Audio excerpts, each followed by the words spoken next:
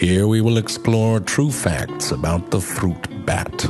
There are many species of fruit bat. Most of these are megabats. This means they're in the suborder Megachiroptera and the family Pteropodidae. Yes, the Latins went a little apeshit with the naming of things, which is, however, lucky, because if YouTube had done the naming, these would all be called Big Ass Bat. Check out my Tumblr, you dickweed.com. The megabat fruit bats include the largest true flying mammals in the world, the flying fox, which is a bat.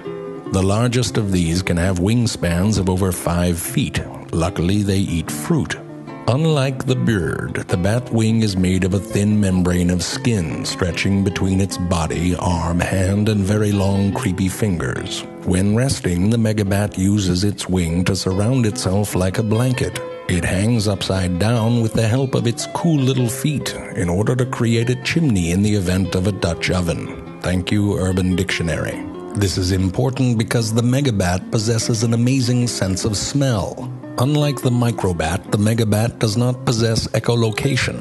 This is because, with the exception of the guava, fruit does not give up much chase. Here you can see different parts of the megabat's anatomy its wings, its tiny round kneecaps.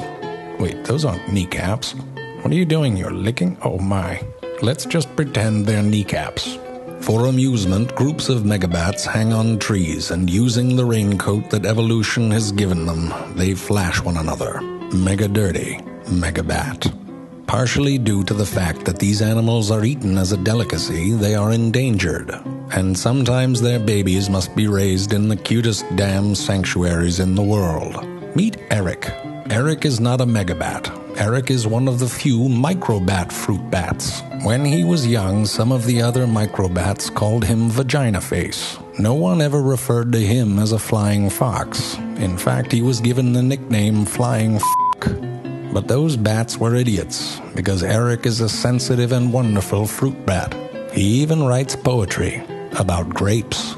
And while those other bats live empty lives judging the world by how it looks, Erik focused on what was inside, and he found Lily, and the two of them have better sex than all the rest of them.